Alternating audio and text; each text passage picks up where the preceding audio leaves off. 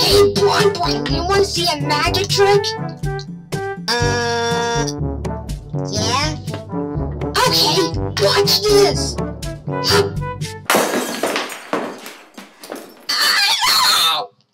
I just cracked my pelvis. Why did this happen to me? Oh God! It looks like he needs help. Don't worry, I'll send him to the hospital.